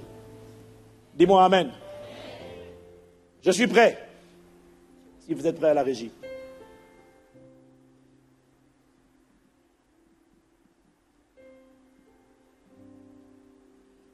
Quand tu vas télécharger cette application, la Bible avec YouVersion, et que tu vas la lancer, à l'intérieur, tu as des plans de lecture de la Bible. Tu peux choisir plusieurs plans de lecture de la Bible et commencer le jour où tu veux et il va t'étendre ça sur 365 jours ou en fonction du format que tu as. Tu peux même faire en sorte de... C'est bon, c'est connecté. Oui, oui, c'est connecté. C'est bon? Voilà. Le logo est là. Holy Bible. Ça veut dire Sainte Bible. Oh, tu sais, on ne sait jamais, il vaut mieux dire. Hein. Oh, mon gars, ne considère jamais rien comme acquis de peur que ton voisin ne dise Holy quoi? Ok, Holy Bible, Sainte Bible. Tu lances l'application et voilà ce que tu as. Si je vais aujourd'hui, par exemple, ça c'est pour moi, j'ai différents plans. J'ai un plan de lecture de la Bible ici qui s'appelle Life Journal Reading Plan. Mais bon, ça c'est moi. Tu vas dans plan. Et dans plan, tu as exploré les plans. Et si tu vas dans Bible intégrale, avec la version française, tu as un seul plan qui est proposé. Tu peux lire la Bible en un an. C'est marqué ici, Robert, Robert, un an. Mais moi, ce que je te préconise, si tu vas avoir le choix, tu vas dans préférence en bas, tu prends langue, tu prends anglais, parce qu'il y a plus de choix en anglais, t'inquiète pas. Ne vas pas passer en anglais, n'aie pas peur. Et là, tu vas dans Whole Bible, ça veut dire Bible entière. Juste au cas où ton voisin, c'est pas clair. OK. Et là, vous avez plusieurs plans de lecture de Bible. Plusieurs plans. Plusieurs plans. Moi, j'ai pris celui-là. Life Journal Reading Bible Plan. Là, c'est écrit en français. Mais quand tu vas le prendre sur ton ordinateur, sur ton téléphone ou ta tablette, ça va apparaître en français. Aujourd'hui, Life Journal. Et voilà ce qu'il me met. Il me met cinq chapitres à lire aujourd'hui. Quand même, un dimanche de culte, j'ai trois cultes, tu me mets cinq chapitres. Mon gars, il y a une erreur ici. Est-ce que quelqu'un me suit? Ça marche sur smartphone, ça marche sur tablette, ça marche sur ton ordinateur. Et tous les jours, si tu vas dans paramètres, si tu vas dans paramètres, non, c'est pas là. Si tu vas dans paramètres, ici, il te propose même de recevoir un email à une heure précise, tous les matins à 7 heures, il te rappelle, il t'envoie la liste des versets que tu dois lire. Tu peux le faire dans les transports en commun. Tu peux le faire à la maison avant de sortir. Si tu es trop pressé, fais-le. Et alors, si tu conduis et que tu ne prends pas les transports en commun et donc que tu n'as pas le temps, Ce n'est pas perdu, il y a encore une autre possibilité. Parce que des fois, la semaine va tellement vite, on peut couper. Des fois, la semaine va tellement vite que tu n'as pas le temps de lire, parce qu'il y a des journées qui vont vite. Qu'est-ce que tu fais? Il te reste une autre option. Merci de revenir à moi, je suis là. Il te reste, une autre option, c'est celle d'avoir la Bible en format audio. Dans ta voiture, mets la Bible en format audio. Pendant que tu prends ta douche, c'est bon d'écouter la louange ou la radio, mais mets la Bible en format audio. Tu écouteras la radio plus tard. Dis-moi Amen. Est-ce que quelqu'un me suit? Et à l'intérieur là, de YouVersion, tu peux même faire des études thématiques. Tu peux prendre des sous-thèmes, développer un sujet sur la jeunesse, la finance. Et en fait, il va te donner différents versets qui font allusion et tu peux faire des études thématiques sur la jeunesse, sur l'âme, sur la prière, sur le jeûne, pendant 21 jours, pendant 6 jours, pendant 5 jours, comme tu veux. Il y a une panoplie de choix, tout ça pour t'aider à lire. Et quand tu as lu, tu peux méditer ensuite. Et quand tu n'arrives pas à lire, prends la version audio. Par exemple, comme on est dimanche et je n'ai pas réussi, je n'arrive pas, je ne peux pas avoir le temps de lire tous ces cinq chapitres, j'ai commencé à les écouter en version audio dans ma voiture. Pourquoi? Ceux qui font des exploits apprennent l'art de la discipline. Dis-moi Amen. La discipline, fais-le, je t'en supplie. Tu as besoin de la parole de Dieu. Le Saint-Esprit ne te parlera pas sans la parole. Tu as besoin d'abord de le lire, parce que tout ce que tu lis est stocké quelque part, même dans ton subconscient. Et quand tu l'as lu, le Saint-Esprit va, quand il va vouloir te parler, il va te pousser, il va te donner des indices, essayer de, de faire ressortir cette parole de la bibliothèque de ton cœur. Mais il faut lire. Dis-moi Amen. Qui décide de lire la Bible toute l'année? Ça veut dire que nous allons avoir un peuple qui connaît la vérité. Tu avoir un peuple qui est assis dans la vérité. Dis-moi Amen. Voilà, je sais que ton âme, ton âme n'aimait pas ce point-là, mais c'est le point sur lequel Dieu voulait que j'insiste. Et ça, je sais que la plupart des gens ne le font pas. Mais à partir d'aujourd'hui, nous changeons au nom de Jésus. Nous développons les bonnes habitudes. Prenons les bons engagements. Dis-moi Amen. Décision numéro 6. Décide de serrer la parole de Dieu dans ton cœur. La première, ça, c'est le premier point de la décision 6. Mais ce n'est pas tout. Décide également de devenir un tuteur de la parole, un mentor pour d'autres. Décide de serrer la parole de Dieu dans ton cœur. Ça veut dire quoi? Ça veut dire décide de l'écouter, de la réécouter. De quoi a parlé le pasteur dit le dimanche dernier? Je pose la question à, ici. Il y en a plusieurs qui vont me dire le message était bon. C'était fort, c'était bien, c'était simple, mais c'était bien. On a beaucoup aimé. Mais il a parlé de quoi? Ah, C'était la parole de Dieu. Hein. Mais c'était quoi le thème? Oh, il a parlé des choses. Tu sais, il s'est basé sur la Bible, la Bible. Au mieux, quelqu'un dira, au mieux, quelqu'un dira, il a parlé du brisement. Mais il a, il a dit quoi sur le brisement? Ah, ça veut dire que toi, tu n'as pas décidé de serrer la parole dans ton cœur. Cette année, je t'en supplie, change au nom de Jésus. Dis-moi Amen. Et non seulement décide de, serrer dans ton cœur, mais la meilleure, la meilleure manière de serrer cette parole dans ton cœur, je vais te donner un secret, c'est de faire en sorte de t'obliger à la transmettre à d'autres. Décide de devenir un tuteur. Ça veut dire quelqu'un qui va accompagner les autres dans l'assimilation de ce qu'ils ont entendu. Décide d'apprendre pour transmettre. Prends la résolution de recevoir pour donner. Ce que tu entends et que tu n'es pas capable d'expliquer avec tes propres mots, ne te trompe pas toi-même, tu ne l'as pas compris, tu ne l'as pas assimilé, tu ne l'as pas maîtrisé. Ce que tu entends et que tu n'es pas capable de transmettre avec tes propres mots, tu ne l'as pas conquis, tu ne l'as pas assimilé. Tu l'as entendu, tu l'as un peu compris. Mais la meilleure manière de s'assurer que tu as bien compris, c'est faire l'effort de le dire à quelqu'un d'autre avec tes mots. Pas en disant le pasteur a dit, le pasteur a dit, il a été dit, il a été dit, il a été dit. Non, prends tes mots. Dis-moi Amen. La réalité est celle-ci. Ce que tu entends, tu l'oublies. Ce que tu vois, tu te rappelles. Ce que tu fais, tu comprends. Ce que tu comprends, tu pratiques. Ce que tu pratiques, c'est ce que tu maîtrises. Tant que tu ne pratiques pas, tu ne maîtrises pas. Quelqu'un me dit Amen. Alors, dans les prochaines semaines, nous allons, nous allons susciter, nous allons faire des, des appels pour avoir des tuteurs de la parole. Décide de devenir. Tu as fait la formation 101 Qui a fait la formation 101 Tu as fait la formation 101, c'est très bien. Si tu demandes ce que tu as retenu, je sais que tu ne lèveras plus forcément la main. Mais donne-toi comme défi, par exemple, cette année, impose-toi comme défi d'aider ceux qui sont en train de faire la formation 101 à mieux comprendre. Parce que pendant la formation, certaines personnes n'osent pas poser des questions. Et il y a besoin qu'on mette des tuteurs, des personnes qui vont les aider à mieux comprendre. Là, comme là, aujourd'hui, ce qu'on dit, tout le monde ne comprend pas. Mais il y a besoin de tuteurs qui vont revenir avec certaines personnes qui ne comprennent pas bien pour leur dire voici ce qui a été dit pour aider à faire asseoir. Mais pour faire ça, il va falloir que toi-même tu aies pris le temps de réécouter pour bien assimiler. Et tu sais ce que ça va produire? Ça va élever le dépôt de la parole en toi. Dis-moi Amen. Tu vois ce que je te dis aujourd'hui, ce n'est pas une révélation, c'est une instruction importante qui existe de la discipline. Dis-moi Amen encore. Décision numéro 7. Là maintenant, tu vas te retrouver un peu parce que là, tu commences à t'ennuyer. Tu dis Oh, oh là là, qu'est-ce qui nous. Aujourd'hui, là, c'est bizarre, hein, c'est bizarre. Hein. Qu'est-ce qui est bizarre Tu veux seulement, tu veux seulement entendre Rémanator. Ah, le Réma, j'entends un Réma. Ah, j'avais pas compris ce passage-là comme ça. Ouh là là là là, c'est profond. Tu en fais quoi après? Oh, mon Dieu, exquis. Et alors après? Décision numéro 7, ça tombe bien d'ailleurs.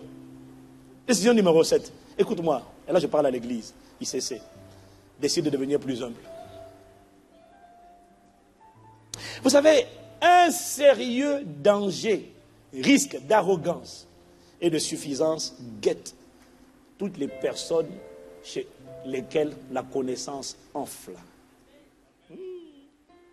Il y a un risque de suffisance et de mépris envers les personnes qui n'ont pas la même connaissance que toi tu as. et qui n'emporte pas le fruit. Décide de devenir humble. Un pacte chrétien que 2014 nous trouve beaucoup plus humble. Humble par rapport à deux choses.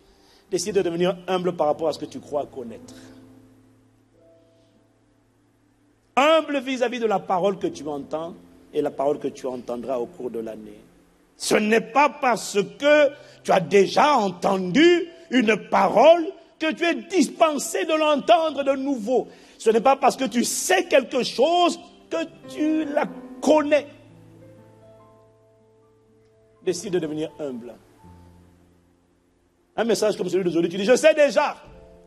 Alors là, sois humble. Beaucoup de gens pensent que la parole de Dieu, c'est comme les gadgets modernes et qu'elle a besoin d'être neuve à chaque fois. Il y a aujourd'hui comme une course, une frénésie, un engouement sans cesse, permanent pour ce qui est nouveau. On veut le dernier cri, le dernier. C'est quoi ton iPhone là? C'est quoi? Le premier On est à génération 5 maintenant. Mais mon gars, c'est que ça permet quand même de téléphoner, je te l'assure. Aujourd'hui, les gens veulent le, gadget. Non, mais je, à la limite, on est, peut-être tous dedans. Si, euh, tant qu'on en a la possibilité, on ne dit pas non. Et tout le monde veut le, dernier cri, le truc le plus récent. Le problème, c'est qu'on l'a amené ça même dans le domaine de la parole. Et on veut l'enseignement le plus récent. Et quand quelqu'un vient, si un pasteur vient avec un, avec un, il a un message qu'il a prêché il y a deux ans, on dit, euh, comme moi je, je suis à la demande là, où sont vos derniers messages, vos derniers messages là, on veut les derniers pasteurs. J'ai dit, mais est-ce que tu as écouté les précédents Non, non, non, je veux juste les derniers. Parce qu'ils pensent que le dernier, le new, là, c'est le plus frais. Mon frère, la parole de Dieu n'est jamais démodée, elle n'est jamais obsolète, elle n'est jamais dépassée. Dis-moi Amen. La parole, et on amène ça dans l'enseignement. Quand quelqu'un parle, ou qu'on a déjà entendu, on dit, ah, ça, on connaît déjà, va à autre chose. Mais mon ami, c'est pas parce que tu connais pas, que tu es c'est pas parce que tu as déjà entendu, que tu es disposé de l'entendre de nouveau. Parce que la parole est vivante à chaque fois que tu l'entends. Si tu l'entends avec un cœur humble, tu entendras quelque chose que tu n'as pas entendu la première fois. Mais si tu l'entends avec un cœur arrogant, tu diras, je connais déjà. Décide de devenir humble. Dis-moi Amen. Dis-moi Amen. Moi, il y a des gens que j'ai écoutés, il y a des prédicateurs que j'ai écouté au temps de ma conversion. Et franchement, vous savez, je vous fais une confidence, je l'ai déjà dit, mais je le redis encore. Il y a des prédicateurs, notamment les, Américains que j'écoutais à l'époque, mais c'était profond, c'était passionnant. Il y a 15 ans, il y a 10 ans, quand tu les écoutais, à l'époque où il n'y avait pas encore trop de chaînes de télé, trop de business, trop de... C'était beaucoup plus... C'est-à-dire que le gars, il était, ils étaient beaucoup plus humbles, beaucoup plus simples, beaucoup plus denses, beaucoup plus profonds, beaucoup plus fervents. Et j'en ai vu aujourd'hui, j'en vois aujourd'hui, il n'y a plus la même profondeur. Et c'est là que j'ai compris que finalement, là, en fait, il y en a, je préfère écouter les messages qu'ils donnaient il y a 10, 15 ans que les messages qu'ils donnent aujourd'hui. Parce qu'aujourd'hui, quand tu vas dans certains pays, tu as l'impression que c'est juste devenu du divertissement. Dès qu'il commence à parler, hum, il donne un verset biblique et puis il dit The Lord is my shepherd. Le Seigneur est mon berger. L'église dit Yes Ah ah, il me conduit dans le vert pâturage. Yes Il n'a rien dit qu'ils sont déjà surexcités. Alors quand tu prends les enseignements de ces gens-là, il y a 15 ans, frère, c'était passionnant. Tu avais envie de pleurer, de te mettre à genoux. La parole n'est pas démodée. La parole n'est pas dépassée. Ne cherche pas ce qui est de plus récent. Cherche ce qui est la vérité, ce qui est vivant et qui te construit. Dis-moi Amen. C'est vrai qu'on peut, ajouter une nouvelle dimension à une parole qu'on a déjà entendue ou reçue. Mais n'empêche que je dois dire une chose que tu sais déjà, mais je dois quand même le dire.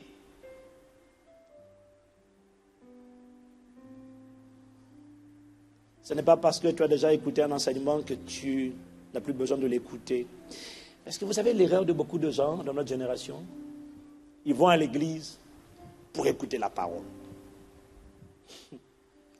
Ils vont à l'église pour écouter la parole. Et pour eux, un culte réussi, c'est la parole. Ah, la parole d'aujourd'hui, c'était fort. Aujourd'hui, c'était un peu trop simple. hein. Le culte a été un peu moyen. Pourquoi Parce que la parole était moyenne. Mais la vérité, mon frère, c'est qu'on ne va pas à l'église pour écouter la parole. On va à l'église pour rendre un culte à Dieu. Oui, tu le sais déjà, mais j'aime quand tu acclames pour ça. On ne va pas à l'église pour écouter la parole. La parole est un bonus. On va à l'église pour rendre, on va à l'église pour rendre un culte à Dieu. Pour ensemble célébrer, avec des mains pures, ensemble adorer, ensemble offrir nos vies, nos offrandes comme un sacrifice, ensemble communier à sa table. Ça, c'est le culte que l'on rend à Dieu. On ne va pas pour la prédication. Mais c'est bon d'écouter la prédication et c'est important. Mais tu ne peux pas juger de l'efficacité, de la profondeur d'un culte à cause du message. Non. Dis-moi Amen. Alors quand tu as ce genre de, quand ce genre de pensée-là, il y a déjà des graines d'arrogance et de suffisance déjà en toi. Cette année, sois humble. Quoi qu'on te dise, sois humble. Si le Saint-Esprit convainc d'expliquer quelque chose, calme-toi. Ne dis pas je connais, tais-toi. Tu connais rien. Parce que ce que tu penses connaître, la Bible dit on ne connaît qu'en partie. Tu prends le même enseignement. Moi, j'ai appris ça avec le Saint-Esprit. C'est pour ça que ça me rend humble. Je donne ici, je vais à Abidjan ou je vais ailleurs dans un campus, le même enseignement, il ouvre mes yeux, je l'emmène en eau profonde. Je dis, wow, là, là, là, je ne savais pas. Et puis la fois d'après, c'est encore plus profond. On ne connaît qu'en partie. Reste calme, sois humble. Parce que ceux qui sont humbles reçoivent. Ceux qui ne sont pas humbles, Dieu résiste aux orgueilleux. Et leurs cœurs ne reçoivent plus. Ça ne t'arrivera pas au nom de Jésus. Donc je disais, décide de devenir plus humble par rapport à ce que tu crois connaître et décide de devenir plus humble par rapport à ce que tu as reçu. La Bible dans 1 Corinthiens 4, verset 7, en effet, qu'est-ce qui, qu'est-ce, qui est celui qui te distingue? Qu'as-tu que tu n'as pas reçu? Qu'as-tu que tu n'aies reçu? Et si tu l'as reçu, pourquoi faire le fier? Comme si tu n'avais pas reçu? Sois humble par rapport à ce que tu as reçu.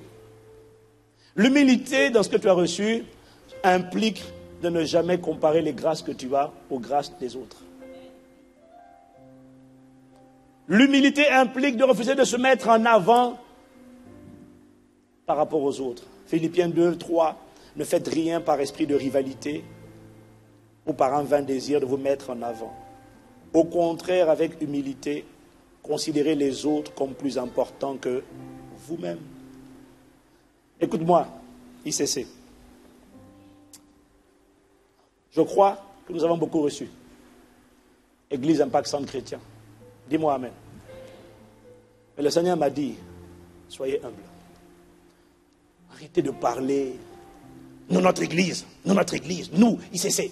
Nous, on est comme ça. Nous, on a la connaissance. Nous, on a la révélation. Nous, on a la parole. Frère, il y a des conversations dans lesquelles Dieu n'est pas engagé. Il y a des conversations dans lesquelles Dieu n'est pas avec toi, il ne prend pas plaisir. Ah, nous, notre pasteur au moins. Ah, vos gars là. Frère, laisse ça. Ce que tu as, gloire à Dieu, garde-le pour toi. Ne va pas comparer ce que tu as avec ce que les autres ont. Parce que subtilement, c'est déjà une forme d'arrogance. Tu peux être au bon endroit, mais ne pas bénéficier de la grâce qui est dans cet endroit juste parce que ton cœur n'a pas les bonnes dispositions. Cette année et les années suivantes, Impact Centre Chrétien, devenons plus humbles. Et d'ailleurs, lorsque tu voudrais te, te, vanter de ce que tu as reçu, rappelle-toi toujours d'une chose. L'essentiel, ce n'est pas qu'est-ce que tu as reçu. L'essentiel, c'est qu'est-ce que tu as fait avec ce que tu as reçu. Quel fruit en as-tu porté? As-tu ajouté, augmenté à ce que tu as reçu? Soyons humbles. De toutes les manières, tout ce qu'on a reçu, ça ne vient que de lui. Dieu en est la source. Rien ne vient de nous. Amen. Il y a quelqu'un cette année, plus d'humilité.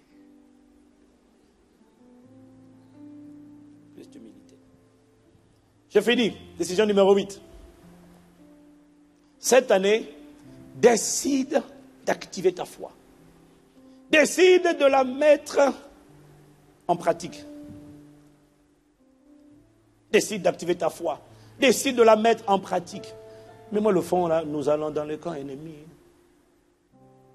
Non, tu le connais? Nous allons dans le camp ennemi pour arracher ce que le diable a volé. Nous allons dans le camp ennemi pour arracher ce que le diable a volé. Nous allons dans le camp ennemi pour arracher ce que le diable a volé. Nous allons dans le camp. Cette, cette année, décide d'activer ta foi. Dis avec moi, activons la foi. Activer la foi, c'est faire travailler la foi. C'est la mettre en pratique. La foi ne doit pas uniquement rester au fond du cœur. La foi a besoin de travailler. La foi pense. La foi parle.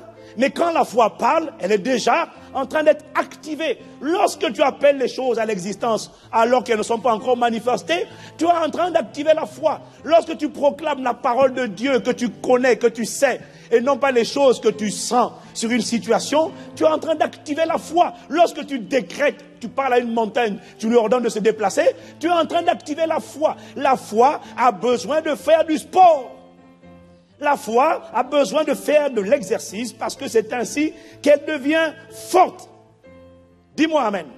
La foi pense comme Dieu, la foi conjugue au présent, parle au présent de ce qui sera manifesté demain dans ta vie. Activer la foi, c'est parler la parole de Dieu sur ta vie cette année, sur tes enfants, sur ton foyer. Je ne mourrai pas, personne de ma famille ne mourra, tous vivront et raconteront les œuvres du Seigneur dans l'assemblée des rachetés. J'annonce aux esprits de, aux mort que je ne mourrai pas. Aucun accident, catastrophe, incident ne viendra affecter cette année. Je le déclare au nom de Jésus. Active ta foi. La foi commence par penser et par parler. Parle. Quand tu parles, tu es en train d'activer ta foi. Dis-moi Amen. Dis à quelqu'un, active ta foi. Et voilà pourquoi la connaissance, la lecture de la parole est importante, parce que tu dois homologuer, tu dois confesser, dire ce que Dieu dit. Quand tu dis ça, tu actives la foi. Parle. Il y a une puissance extraordinaire dans la parole. Lorsque ce que tu dis vient de la parole de Dieu et inspiré par l'Esprit, il y a une puissance extraordinaire. Dis-moi Amen. Cette semaine, j'ai reçu un, frère en Christ qui a un très grand poste de responsabilité dans un certain pays. Et euh, Et ce poste est tellement convoité, c'est exactement comme le poste du pasteur Yves, que des pots de bananes, et des conspirations et des complots et des conjurations, des, toutes sortes de choses compliquées. Et on a parlé, on a eu un temps de communion fraternelle, et puis, avant qu'il ne parte, il y avait un autre frère également qui aussi a un grand poste de responsabilité dans le même pays. Et j'ai prié, on a prié ensemble, et mon épouse également, on était à quatre. On a prié. Et puis pendant qu'on priait, j'ai commencé à parler, prononcer et proclamer les paroles de Dieu sur sa vie. J'ai dit, ils te feront la guerre, mais ils ne te vaincront pas. Quiconque, quiconque creusera une fosse devant toi et tombera dans cette fosse. Et je ne sais pas pourquoi, mais je me suis mis en train de parler, de confesser, de déclarer des paroles qui étaient bibliques. Tu ne peux pas déclarer ces paroles si tu ne connais pas la Bible. Dis-moi Amen. Et j'ai commencé juste à parler, à dire, voilà ce qui va se passer. Voilà ce qui va se passer. J'ai commencé à parler, parler, parler. Quiconque se lèvera contre lui tombe sous notre pouvoir au nom de Jésus. Nul ne tiendra devant toi tant que tu vivras. Former des projets, nous les déclarons maintenant et à jamais anéantis au nom de Jésus. Donnez des ordres dans le monde occulte. Allez dans votre monde des ténèbres. Lancez des incantations. Je déclare qu'elles sont sans effet. J'ai commencé à parler, parler, parler. Ça, c'est la parole. Dis-moi Amen. Et le lendemain, après, ils sont partis. Le lendemain, à 5, 6 heures du matin, il m'appelle en urgence. Il me dit, Pasteur, je viens de faire un rêve terrible. Parce que lui, Dieu lui parle souvent par les rêves. Il me dit, j'ai fait un rêve terrible cette nuit. J'étais exactement chez toi, la même configuration qu'hier. Ça, c'est le rêve que j'ai fait. J'étais assis là où j'étais assis. Tata Maud était assis là où elle était assise. L'autre était assis. Et toi, tu étais là au même endroit. Et, et tu étais en train de prier comme tu priais hier. Mais pendant que tu priais, tu étais assis. Et je t'ai vu te lever alors que ton corps était assis. Je t'ai vu sortir de ton corps. Ne me dis pas que tu sortis de mon corps. Ne me dis pas. Non, non, parce qu'il y a des gens qui m'ont dit, ils vont prendre cette séquence-là, ils vont couper. Il a dit, il est sorti de son corps. Ah, ils sont le. Non, non, non, non, non. Non, non, non, non. Dis-moi Amen. Hein. Il y a toujours des gens tordus. Ah, oh, oh. Mais même ces gens tordus, l'esprit qui les anime a échoué lamentablement.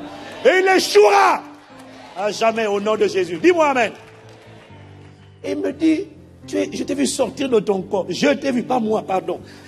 Et tu as commencé à parler, mais c'était une voix d'autorité. Tu grondais, tu étais en train de menacer et tu étais en train de parler à des gens. Tu, étais en train de, tu as même mentionné le prénom d'une personne qu'on appelait Rose. Et tu es en train de lui dire, qu'est-ce que tu as fait avec son costume? Lâche-le. Tu es en train de donner des ordres que je ne t'ai pas entendu dire la veille. Et, dit, et puis il dit, mais quand je me suis réveillé, j'ai eu la conviction que le Seigneur venait de me faire voir l'impact des paroles de foi que toi tu disais, mais comment ces paroles allaient cibler des gens de manière spécifique. Il y a une puissance dans la parole, dans la proclamation de la parole. Dis-moi Amen. C'est pourquoi il me dit, tu donnais des détails que tu n'as pas donnés dans ta prière. C'est ça le point. Mais moi, je ne savais pas les détails. Je libère la parole. Mais cette parole court, elle agit avec rapidité. Elle va sur chaque personne et puis elle est en train de démolir. Mon frère, ce que j'essaie de te dire, c'est active ta foi. Arrête de dire je crois du cœur, tu, te, tu dors la nuit, tu te réveilles soudainement en sursautant et tu fais non, parle, ouvre la bouche, lance la parole, envoie les décrets, publie la parole dans l'atmosphère. La foi doit parler. Dis-moi Amen. Le combat spirituel, c'est un combat qui commence dans les pensées, mais c'est également un combat de la parole. La Bible dit que c'est par la bouche des méchants qu'une ville est détruite. Mais à l'inverse, la ville prospère par la bénédiction des hommes droits. Il y a des gens qui lancent des paroles négatives. Il faut qu'il y en ait qui lancent des paroles divines dans l'atmosphère. Parle, proclame, ne subis pas. Ne dis pas j'ai mal. Non, parle.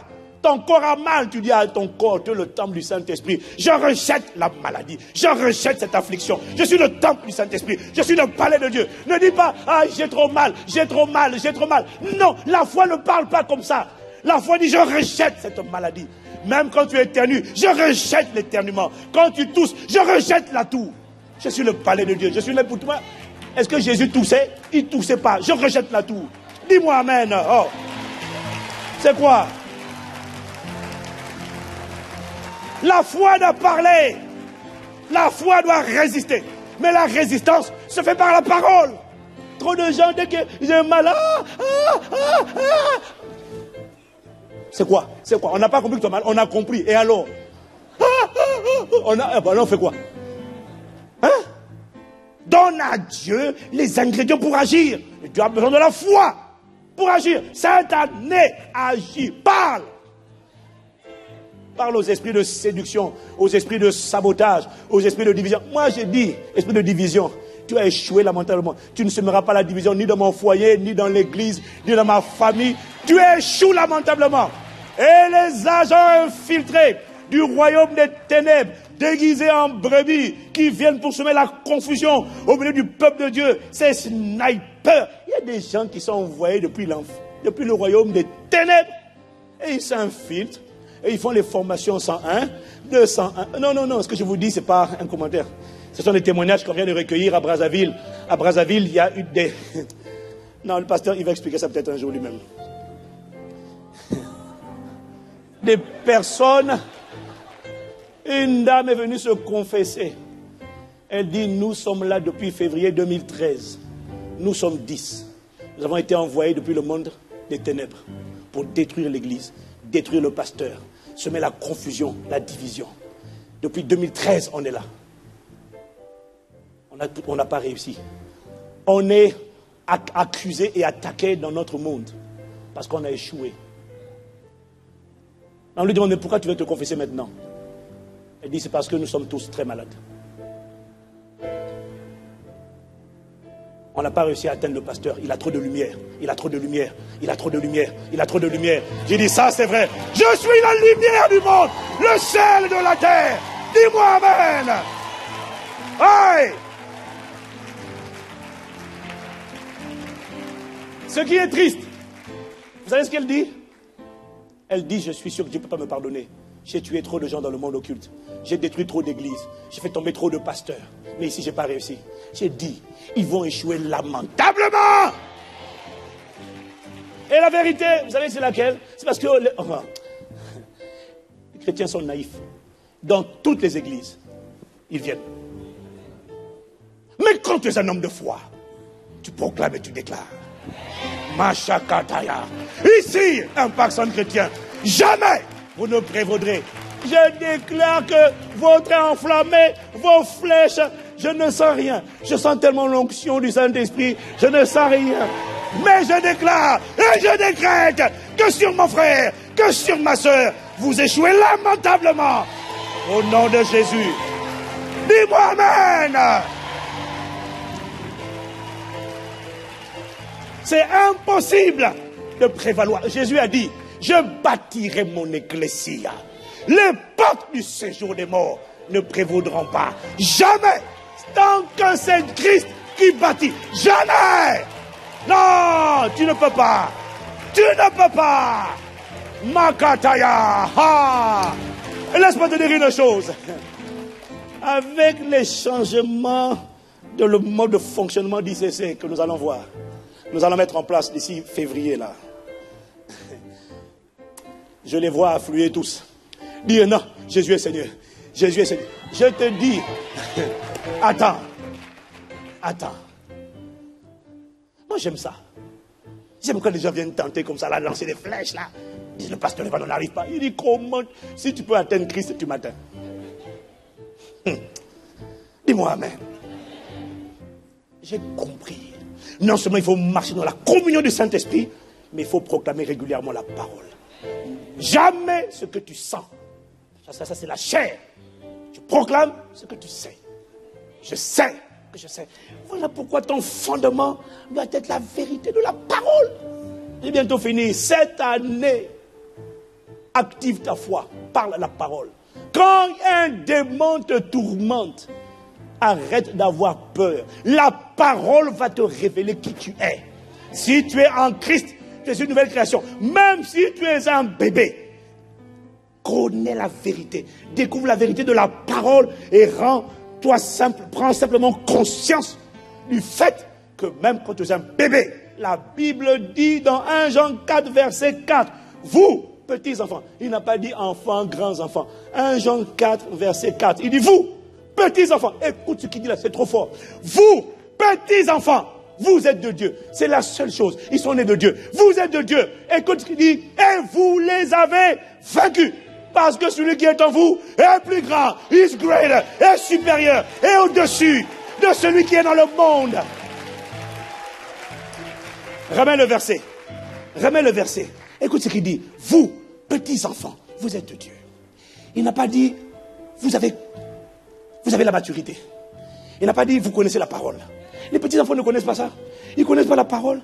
Ils n'ont pas de maturité. Ils sont vulnérables. Mais il dit, même dans leur état de vulnérabilité là, petit, vous avez vaincu. L'esprit qui est en vous là est supérieur. Dis-moi Amen. Mon frère, laisse cette parole s'imprimer sur les tables de ton cœur. Et quand tu dors ou quand tu sens que ton corps est en train de s'agiter, tu dis à ces poussières de démons de l'enfer, je suis de Dieu. J'étais vaincu, je triomphe, je t'écrase la tête. Résiste. Ne te laisse pas faire. Tu n'es pas n'importe qui. Tu es une nouvelle création, un chef-d'œuvre de Dieu. Cette année, quand tu rencontres un démon sur ta route, chasse-le. Ne dis plus, je vais attendre vendredi soir, atmosphère de miracle. Il est bon de venir atmosphère de miracle. Il est bon d'attendre atmosphère de miracle. Mais il est mieux avant atmosphère de miracle de commencer à me dégommer, à me massacrer ce démon de l'enfer qui doit lui donner le corps, la varicelle, le sida, le cancer, toutes les maladies que Satan a invoquées, tu dis retour à l'envoyeur. Au nom de Jésus. Dis-moi Amen.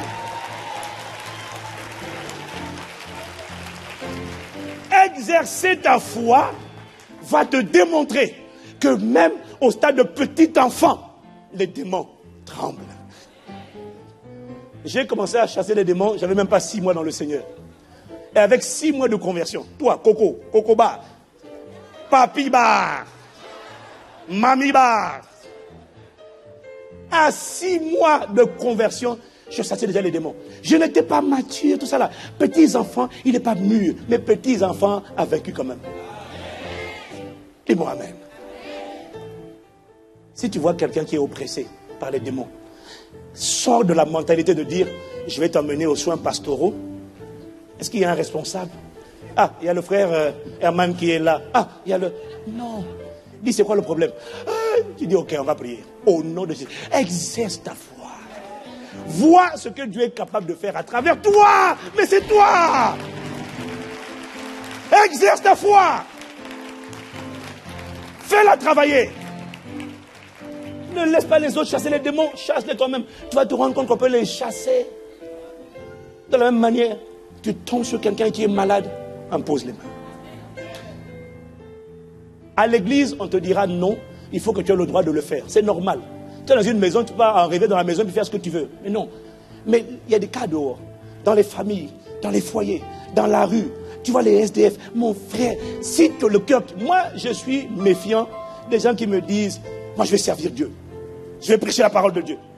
Je dis Amen, frère, vas-y. Il dit Mais quand? Je dis Quand tu veux. Et tu donnes le micro. Je dis Non. Mais ce n'est pas sur le pupitre qu'on prêche la parole de Dieu. C'est dans les rues, c'est dans les places, dans les maisons. Va dans les maisons Va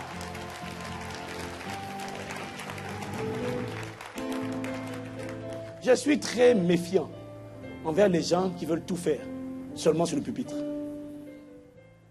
Je veux danser pour le Seigneur. Mais vas-y, danse. Danse dans la rue. Va dans les SDF. Danse, euh, va. Danse prophétique. Vas-y. Tu veux chanter?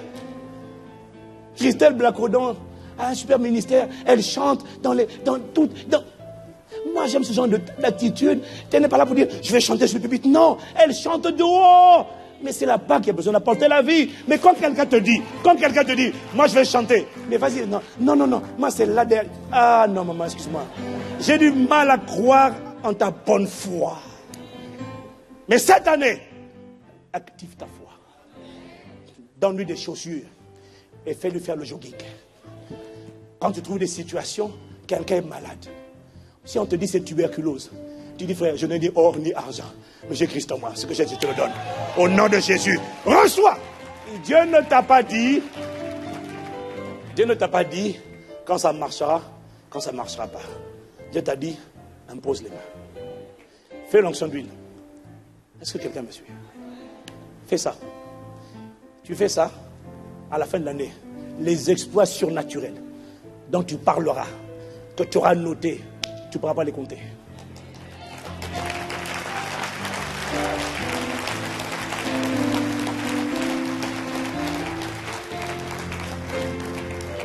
Incline la tête avec moi. Machakata la mandola Dieu se lève, ses ennemis s'enfuient.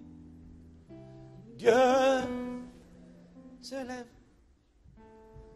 Dieu se lève, ses ennemis s'enfuient. Oh, oh, Dieu se lève sur le pays.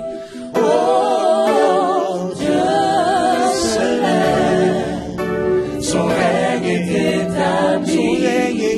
Dieu se lève sur ma Oh, oh, Dieu, Dieu, Dieu, Dieu se lève, ses ennemis s'enfuit.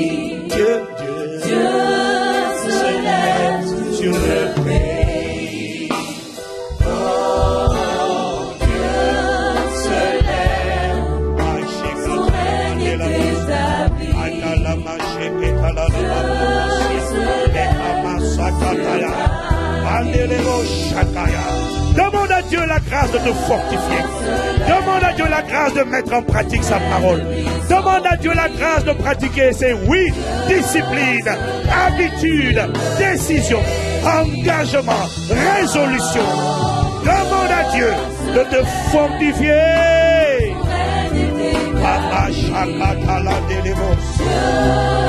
Lève-toi dans ma vie. Au-delà de moi, je t'en prie, lève-toi. Lève-toi. T'en supplie, je t'en supplie. Je t'en prie, je dis, lève-toi. Lève-toi. L'intérieur de moi, fortifie-nous puissamment par ton esprit dans notre homme intérieur. Que le faible dise, je suis fort. Accorde-nous la grâce de nous discipliner. Accorde-nous la grâce de payer le prix requis pour la discipline. Discipliner notre âme. Accorde-nous la grâce de faire ce que nous devons faire.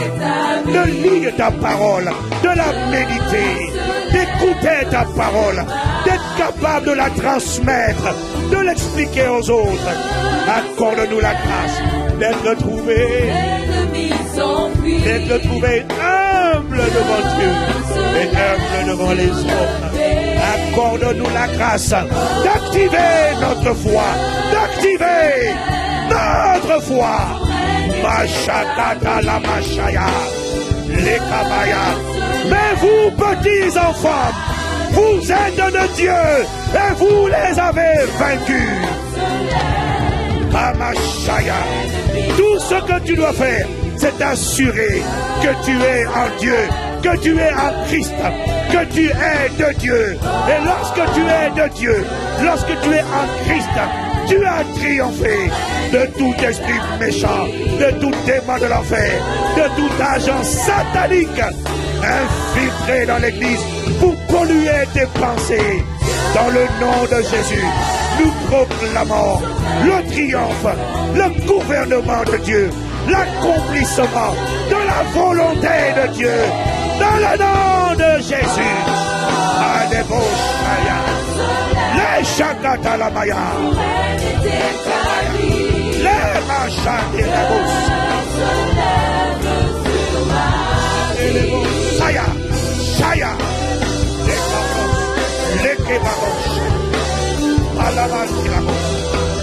Pendant une minute, je veux que tu élèves la voix. Je veux que tu élèves la voix, quelle que soit la salle où tu es. Ne laisse pas ton voisin te distraire. Je veux que tu élèves la voix et que tu, lances des paroles, lances des décrets. Parle aux esprits d'infirmité, aux esprits qui emmènent des maladies, aux esprits de sorcellerie, aux esprits de blocage, aux esprits de malédiction. Parle, élève la voix. Dis, annonce, annonce, proclame, déclare. La foi parle, la foi proclame sur ton foyer, sur ta famille, sur ta santé. Cesse de pleurer, cesse de dire j'ai mal. Déclare la parole. Élève la voix. Élève la voix. La. Lève les.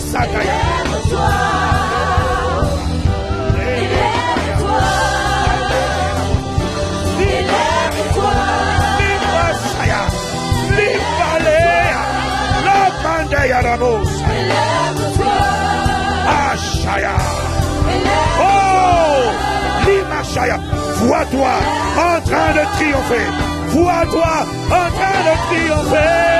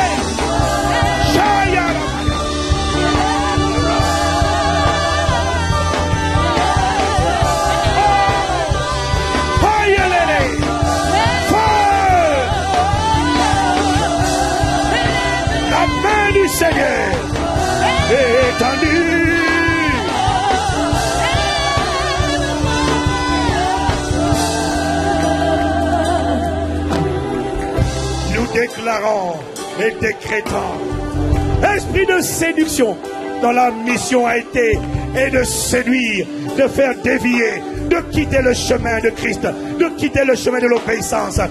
Esprit de séduction, vous avez été envoyé pour faire dévier la voie. Au nom de Jésus, vous échouez lamentablement. Nous marchons dans l'obéissance. Nous marchons dans la volonté de Dieu. Et nous voyons les desseins de Dieu s'accomplir au nom de Jésus. Esprit d'infirmité, votre mission, c'est de créer des maladies, c'est de créer des infirmités, c'est de créer des douleurs, c'est de créer des kystes, c'est de créer des fibromes, c'est de créer des cancers, c'est de déplacer des virus. Au nom de Jésus, vous échouez lamentablement. Dans le nom de Jésus, nous appelons la vitalité divine, la guérison divine, la santé divine, la ferveur divine. Au nom de Jésus.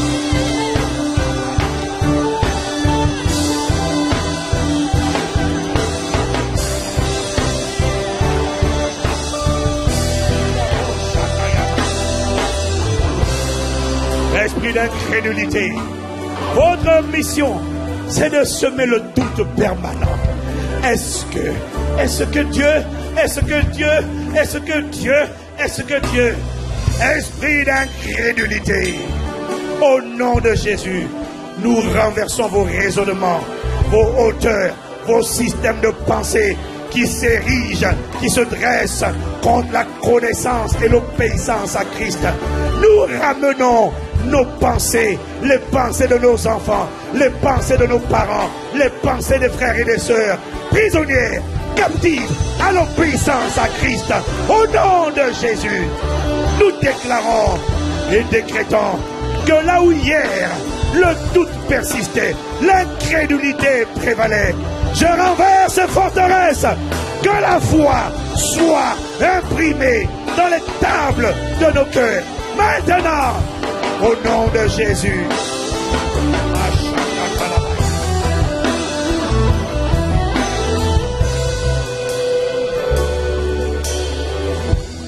Esprit de division, nous réduisons à néant vos stratégies pour diviser l'Église, opposer les fidèles, opposer les pasteurs, opposer les églises. Vous échouez lamentablement. Au nom de Jésus, nous appelons et proclamons l'unité. Un sans chrétien, l'unité dans le corps de Christ, l'unité inter-église, l'humilité prévalent dans le nom de Jésus. Je déclare et je décrète toutes les différentes catégories d'esprits méchants envoyés pour détruire, dégorger, dérober, échouent maintenant, échoueront demain, échoueront toujours au nom de Jésus. Parce que le minimum que nous avons, quel que soit notre niveau de maturité respectif, le minimum que nous avons, c'est que bien aimés, nous sommes de Dieu.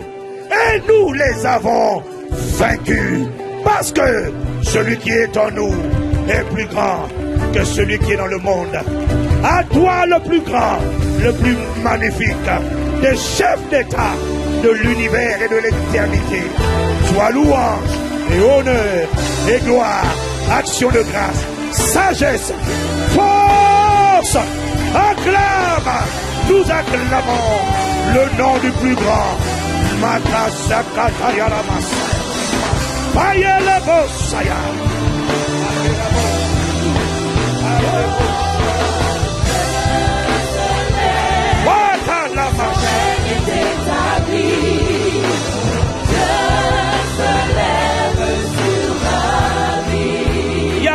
Au moins deux personnes pour acclamer Non pas applaudir. Celui qui a vaincu et qui nous a rendus plus que vainqueurs. Béni soit le nom de Jésus le Christ, de maintenant et dans toutes les générations, au siècle des siècles. Oh, nous acclamons la parole de Dieu. Nous acclamons celui qui a vaincu la mort, l'enfer, le diable, le séjour des morts, la chair, le péché. Béni soit le nom de Jésus, le Christ. Avec action de grâce, nous avons ainsi prié. Amen, amen, amen, amen.